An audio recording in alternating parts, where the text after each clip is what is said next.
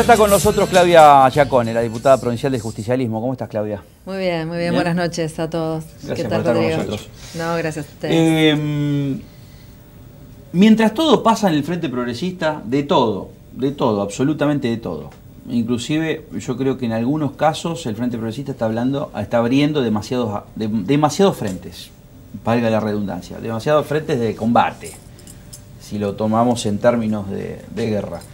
Por un lado, la lucha que está dando el, eh, este, a ver si puede bajar los índices de delictivos, de homicidios. Por otro lado, aparece la Corte Suprema de Justicia, pues le pegan a Puyaro, pero por ende también al gobierno provincial.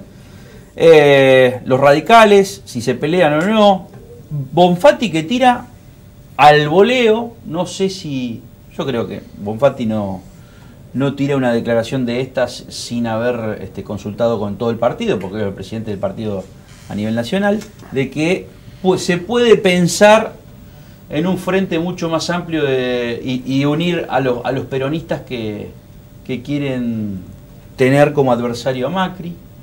Digo, ¿cómo lo ven los justicialistas que nuevamente este, la ven a esta novela, pero son protagonistas también privilegiados? Mira, nosotros por un lado tenemos un... El primer desafío es interno. Nosotros estamos reestructurando nuestro partido con tratando de incluir a todos los sectores. Ustedes saben, el peronismo no tiene hoy en Santa Fe un liderazgo natural, único, fuerte, que pueda conducir. eh, y, me parece que bueno, estamos sufriendo eso y creo que estamos en un proceso de buscar de- de que surjan nuevos líderes, ¿no? nuevos liderazgos con, con nuevas figuras. Y e- en esa tarea estamos hoy concentrados, por lo menos lo que uno siente que está poniendo el mayor esfuerzo, porque sin duda el peronismo está llamado a ser un gran protagonista en el futuro, ¿no? Eh, evidentemente, luego se verá, el peronista, el peronismo siempre fue de frentes, eh, y hoy estamos viviendo una, una, eh, aplicación, si se quiere, de un modelo eh, en el cual eh, claramente la sociedad nos demandó como, como, como, como referente de custodio de lo contrario. ¿no? Yo te digo, no hay que olvidarse quién nos votó el año pasado y en qué lugar nos puso. ¿no? Eh, y es cierto que, bueno, no hay que poner perlos en la rueda, nadie tiene que trabajar para que nadie caiga ni desestabilizar, pero sí tenemos que trabajar para que determinados valores y defensas de derechos y sobre todo hoy de las necesidades básicas más urgentes que no se pongan en juego, ¿no? Entonces estamos llamados a, un lugar muy importante que es la defensa de eh, determinados valores que hoy están puestos en, juego y en un riesgo enorme. ¿Se puede ver en el día de mañana, pensás, vos fuiste diputada nacional este, y has visto cómo es el, manejo, el manejo justamente de las fuerzas políticas dentro del Congreso? Eh, ¿Se puede ver en el día de mañana, 2017, 2019, un frente electoral donde esté, estén socialistas y peronistas juntos? Yo lo que siento es que nosotros primero tenemos que, que reagruparnos entre nosotros. ¿no? ¿Pero es posible eso o, o lo descartás de plano? Yo lo que siento, el, el Frente para la Victoria tenía el Partido Comunista. Sí, lo tenía ¿no? Rivas también como representante Eh, del socialismo. ¿no? Teníamos eh, el- los, los frentes. eh, yo siento que cuando se habla de la grieta es claramente, bueno, de, ¿Usted sigue siendo del modelo. Frente para la Victoria, diputada? Nosotros somos Frente Justicialista para la Victoria. Eh, hoy peronismo, ¿no? En, eh, nunca dejamos de ser pe- ¿Pero es peronismo, cristinista? ¿no? Pero no soy cristinista. ¿no? ¿Quién No, es su referente nacional hoy, Claudia? Ay, ese es un problema. No hay. Ese es un O sea que anda caminando a la provincia solita, solita. Pero es lo por mismo todos O sea, la que que es lo mismo. no es ¿Eh? únicamente ¿Qué pregunta que? No, a obviamente, la tenemos que reconstruir. Vos imaginate, teníamos un candidato a presidente ¿Cómo van a eh, ser? único en, en la nación, lo mismo en la provincia, y sin embargo seguimos estando ¿Cómo- cómo en van a espacios hacer para- diferentes. No, yo por eso digo, es un tremendo desafío, pero para los dirigentes sobre todo, porque las bases la tienen clara. Están buscando referentes que defiendan estos estas banderas históricas del peronismo. ¿no? Y los dirigentes Giacone- tenemos que construir con generosidad. ¿Cómo, Marcelo. cómo, cómo hacen para que... eh, ustedes hace poquitos meses tuvieron elecciones a nivel provincial, o armaron una nueva, eh, digamos, una nueva conducción del partido, con... eh, Con bueno, Ricardo Olivera a la cabeza. con Ricardo Olivera a la cabeza, con convencionales, con... Buena cabeza. Algunas... Cabezón está diciendo al senador... no. Sí. No, no. Bueno, eh, el Cabezón Olivera. Cabezón Olivera. Eh, digo, ¿cómo van, a, ¿cómo van a evitar que este efecto masa que está empezando a girar en la República Argentina desde Buenos Aires hacia el interior de a poquito, eh, Más adolece. claro, se lleve eh, algunas personas que hace dos meses atrás empezaron ya una nueva etapa del justicialismo armando eh, esta nueva conducción y que hoy ya dos meses después, solamente dos meses después, están charlando, están coqueteando. Digo, ¿no convendría sumarlo a masa, por ejemplo? Bueno, eh, el, tema son lo- las, el proyecto que vos tengas. ¿No? Eh, hoy por hoy, en, en las votaciones de masa o en, en sus posturas con referencia al gobierno nacional, no me dice nada distinto ¿no? de, de- de la- las eh, decisiones que toma el gobierno nacional. ¿no? Yo creo que. eh, Sí, se diferencia, pero en algunas Se- se pequeñas en cosas. algunas, se- se Pero en pequeñas cosas eh, medias abstractas, ¿no? Estoy de Eh, acuerdo, estoy de acuerdo. Se, se diferencia como para que el marketing diga que es distinto.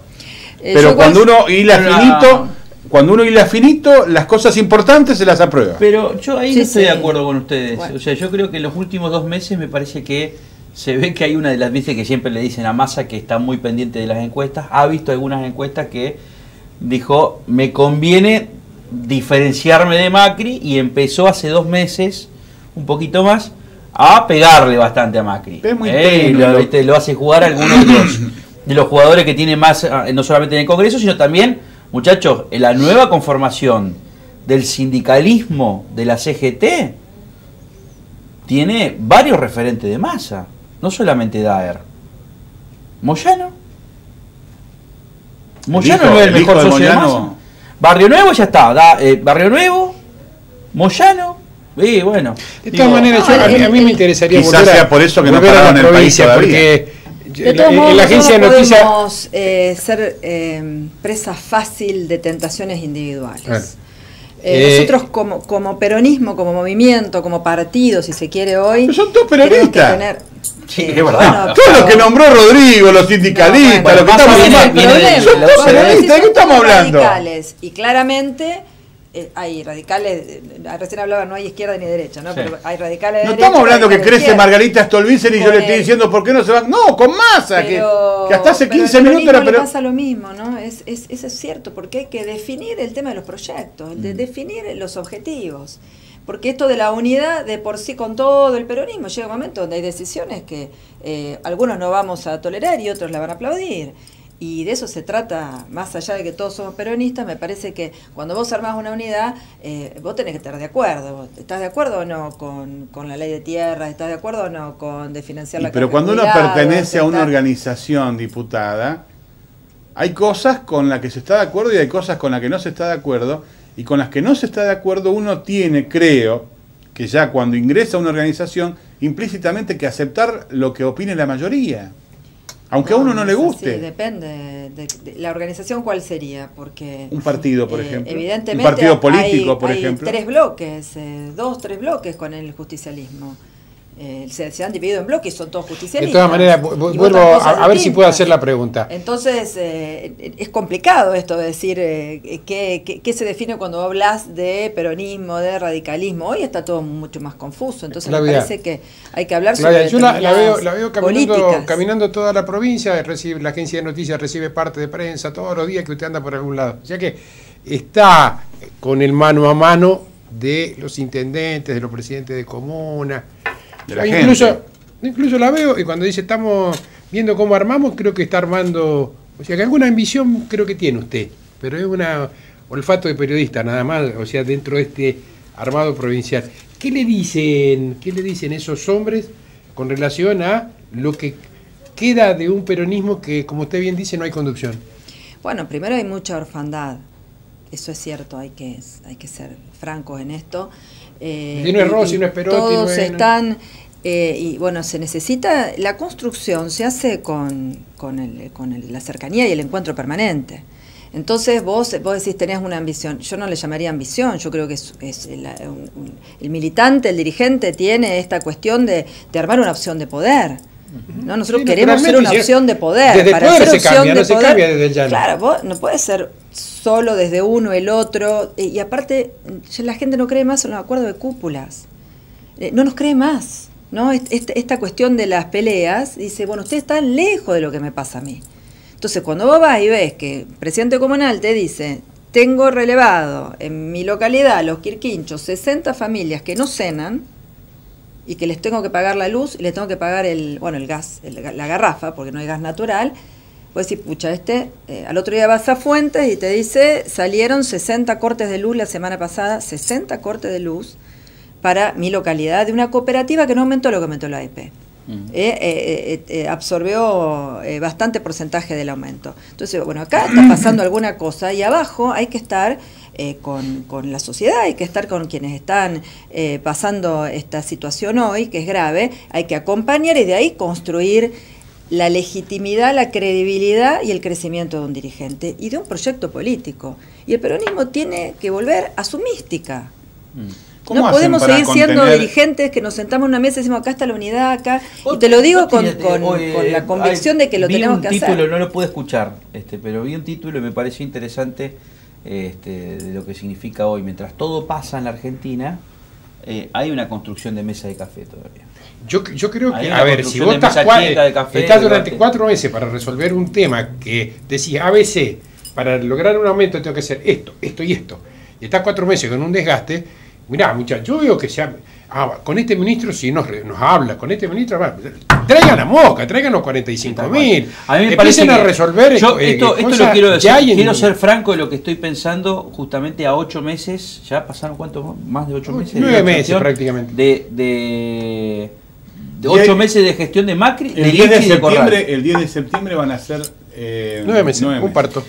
Yo, Digo, creo perdón, embarazo. yo creo que Lifchitz no tiene más margen, más margen para seguir siendo diplomático con el gobierno nacional. No tiene margen. Esto último que acabamos de, enterarnos, porque yo me acabo de enterar, este, que hablábamos con Mikli, que todavía el gobierno nacional no le puso la firma para endeudamiento. Eso es una hija putés, así se llama. Yo Eso creo, es que una hija putés yo para- creo que Lipschitz con la debe provincia estar de Santa caminando ver, por las eh, paredes no, no, no, por el tema de este, mantener todavía lo- los, lo- los reproches de Corral y de, del socialismo que no quiere saber más nada con Corral y los radicales que no quieren saber más nada con Corral. está cumpliendo el papel de la vieja mamá de campo, En donde todos sus hijos se pelean y todos tienen un problema. Pero- Y aunque le salen un unas úlceras así, tiene un límite. Aunque le salen unas úlceras así, está tratando de contenerlos a todos y que no se peleen más y que no se desbanden y que, la- y, y que digamos y que todo siga para adelante como corresponde, porque hay algo en Mm. ese sentido, la mamá de campo lo que preservaba es la familia y nosotros lo que tenemos que preservar es Lo nuestra que dijo provincia. Barleta, yo, em, em, em, ¿Eh? Sí, Fuera pero- de lo que opine Barleta, usted Giacone, siempre, usted que la, la ve de justicialismo, si habla Barleta, habla Corral. O sea, ¿cómo lo ven ustedes? No, no, Barleta es Barleta y Corral es Corral. Cuando usted lo escucha a Barleta, no, era, no eran juntos, no eran este, Batman y Robin, digamos. más o Quiere menos? meter en internas. No, no, pero la que yo tengo, Opine, opine, opine. la que yo tengo, hay que meter en internas Tre- ajenas. A ver, 30 segundos como para cerrar, digamos, este, porque no está, ya no está.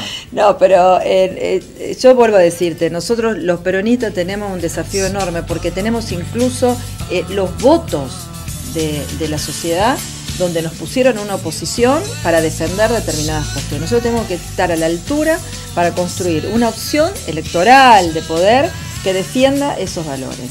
Después, te contesto la pregunta anterior, yo no, eh, los frentes lo tenés que hacer con quienes piensan como vos. Claro. Y la verdad que ahí no hay que ser prejuiciosos, porque vos necesitas, lo ganás solo. ¿no? Ahora lo haces con quien compartís valores, ideas y modelos políticos, ¿no?